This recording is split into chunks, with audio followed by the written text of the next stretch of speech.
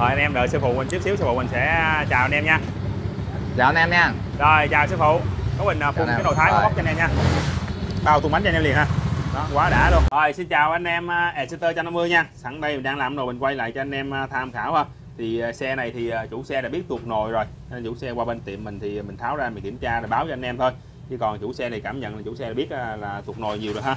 Thì à, sẵn đây thì à, tháo ra thì cho anh em à, tham khảo luôn. Thì tham vô nồi của chủ xe thì nó bị mòn sọc rồi nãy thì chủ xe cũng tâm sự là không có tiền, cho nên là nhờ mình cứu lại. Thì mình cũng tâm sự với chủ xe là đồ cũ bên tiệm mình thì rất là nhiều. Nói chung là chủ xe thích kiếm bộ nào mà còn xài được thì mình sẽ cho chủ xe. Đó, thì à, chủ xe cũng lựa được một bộ à, mặt nhôm nồi thì nó còn ok còn mới nha. Thì à, rất là nhiều chủ xe cũng bị dạng như tuột nồi sơ sơ là làm lại nồi ha hoặc là những chủ xe bảo dưỡng nồi á. Thì mấy nồi mà còn sơ sơ là chủ xe khác là muốn thay à. Nói chung là có điều kiện thì ta thay mới cho chạy cho ngon nói chung mình không có tiền thì mình à, tận dụng mấy cái đồ mà bỏ ra thì mình xài lại. Nói chung là cái này là mình cho chủ xe nha chứ mình không tính tiền nha. Tại cái này là cái đồ mà chủ xe khác bỏ ra nó còn được.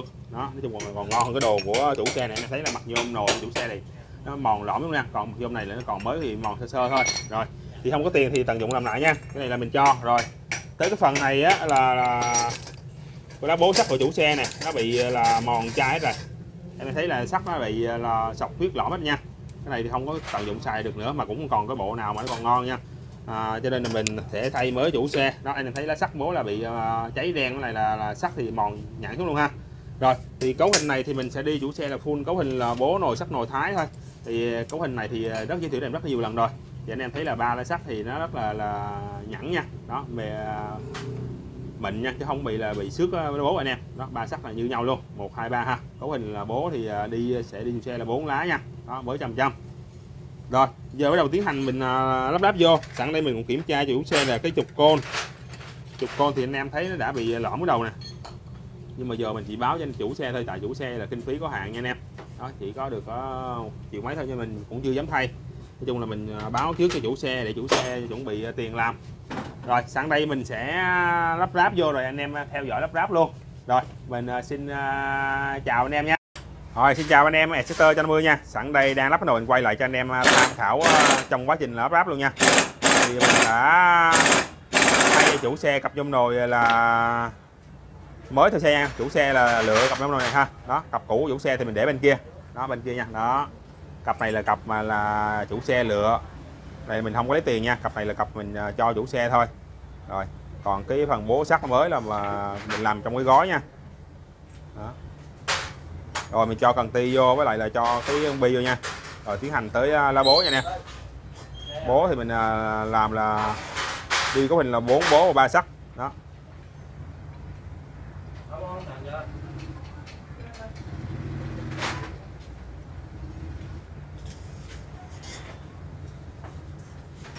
Rồi, tiếp tục à, cho lá bố sắt này ha. Thì anh em cho lá bố đầu tiên tới lá sắt thì cứ một bố là một sắt nha anh em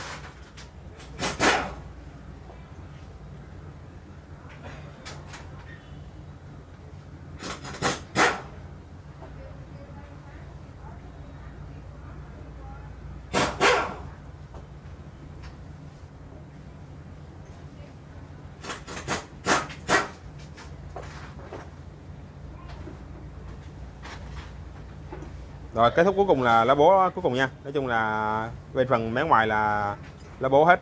Còn ở trong là lá sát nha anh em. Rồi tới phần à, trong vô nồi vô. Đó mặt ngoài thì mình cũng đã đổi vũ xe mặt khác nha. Còn mặt cũ kia mình đưa vũ xe đem về.